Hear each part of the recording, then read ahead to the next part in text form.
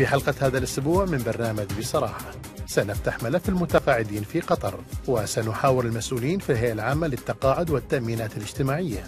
في مواضيع تشغل اهتمام الكثير منكم. شروط التقاعد كيفية تحديد نسب الاشتراكات الشهرية برنامج الخصومات الخاص بالمتقاعدين وانتظارات الناس من القانون الجديد للتقاعد.